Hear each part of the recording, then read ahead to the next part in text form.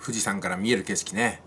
遭難したんですね。いやまあここでねそうなんですかっていうわけにはいかないんで大変でしたね、えー、お疲れ様でございます。でもねほんのくたくたになるまで何か取り組むっていうのも分かりますよ、うん、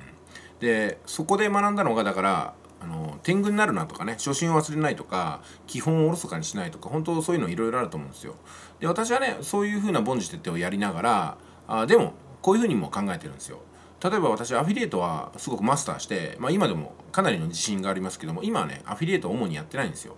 それはねこういうふうな考え方に基づいてます。得意分野を使わずに勝負してみるってことなんですよ。私はアフィリエイトを今でもセルフバックしてもね多分誰にも負けないと思うんですよ。今セルフバックで4万円稼いだみたいな方いらっしゃったと思うんですけども私もね、えー、もう今からセルフバックとかを探し始めると、まあ、40社ぐらい ASP 持ってますんですぐに今日中に10万とかね作れると思うんですよね。もちろん売上ベースでなんですけどもだから月間で100万とかっていうの今でもできるんじゃないかなとか思うわけなんですけどもまあでもねそのあえて自分の得意分野を使わずに例えばアフィリエイトをやめて転売の方で今度ねまた一から積み上げていくみたいな。で積み上げてそこそこの技術が身についたら今度はそれまでに使ったアフィリエイトのノウハウを組み合わせて別のものができていくイノベーションが起きるんじゃないかなと思うんですよ、まあ、ですので私はね転売が得意な人と勝負してももうなんかその奇想天外の方法で転売専業の人よりは私は転売専業ではないんですけども専業の人よりは結果が出せるかなと思います。その一例があのカメラをね転売する時に束で買って束で売るみたいなね。カメラ転売ヤーさんから買い取ってカメラ転売ヤーさんに向けて売るみたいな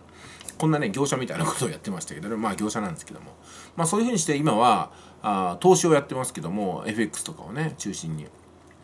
でもやっぱりそこにアフィリエイトの仕組みとか使わないわけなんですよ。転売の仕組みも使えないですよね。ただやっぱり転売っていうのは安く買って高く買うっていう発想なんでこの FX も同じなんですよね。安く買って高く買うわけですから投資事は全部そうですよね。安く買って高く売ると。これだけに尽きるんですよ。うん、でその他に投資事っていうのを人に知らせていく人に伝えていくっていう活動もあります。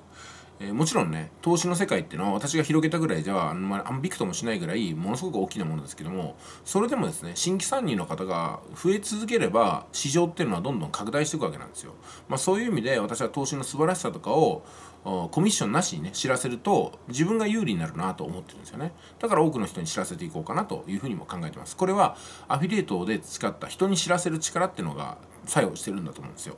まあ結局ねあの得意分野を使わずに別の分野で勝負するってことを繰り返していて、まあ、どこでも新人でいるってことですよね。今私は FX 始めて3年ぐらいになりますけどもまたね一から学ぼうとしてるんですよ。去年も一から学ぶスタンスを取りましたけども1年に1回まっさらで得意分野を使わずに未知の分野で勝っていくっていうトレーニングをして一つ一つ FX の攻略もしてるんですよね。だから完全攻略は10年ぐらいかかると思いますけどもとりあえず FX で負けないようになったんでもしね資金的にきつくなったら一番得意なあの封印した分野でまたね復活できるかなっていうふうに考えてるわけなんですよね。はい、まあ本当にね初心を忘れないようにするのと同時にあの自分が一番得意だったものがなくなったら何を使うかなっていうふうに考えていくことによって、まあ、リスクヘッジをしてるってことなのかなとお伝えしたしたいでございます。それでは失礼します。